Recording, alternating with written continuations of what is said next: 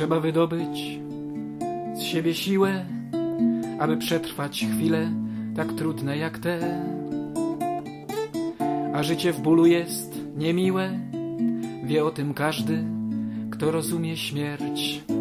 Już w Twoich oczach widać zachód, zachodzi słońce, niknie gdzieś za mgłą. Ty jeszcze walczysz o bramy światów, których ja nie znam, a Ty wiesz, gdzie są. Nie wiem, co mówić ani czynić. Nie wiem już teraz, jak wygląda świt.